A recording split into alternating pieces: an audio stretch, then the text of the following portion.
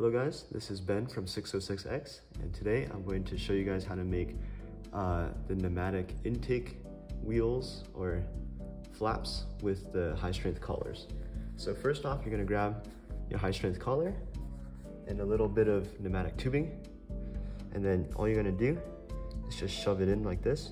So you notice right now it's still like sliding.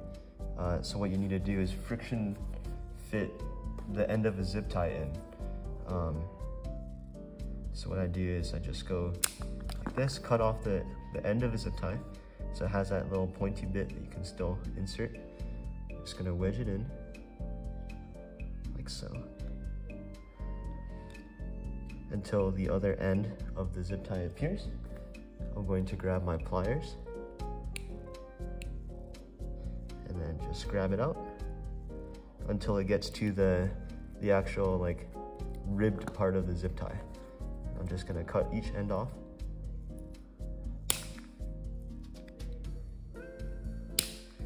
And that should be good enough uh, to make your intake. It's pretty tightly fit. If you really pull on it, it will come off, but I think this is good enough for most intakes.